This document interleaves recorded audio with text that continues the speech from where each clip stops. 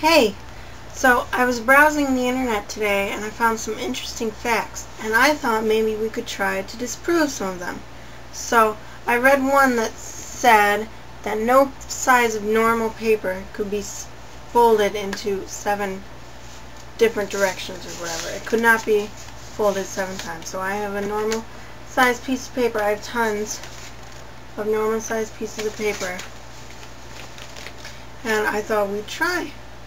So let's try.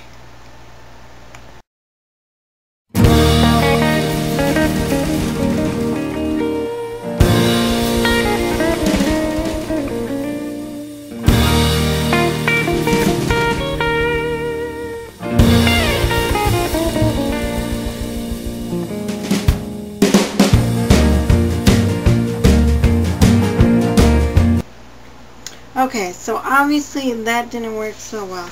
But I just wanted to show you a little close-up. See, we got one fold,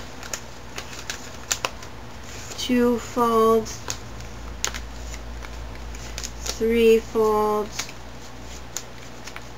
four folds, five folds, six folds, and then I can't bend it anymore for seven. It's very thick. So I guess he's right. You can't fold a normal sized piece of paper seven times. If you want to try and if you can do it, film it because I'd love to see it. But obviously, as you can see, I have not been successful. So maybe you will. So, good luck, I guess, if you're going to try. Not, thanks for watching. Bye.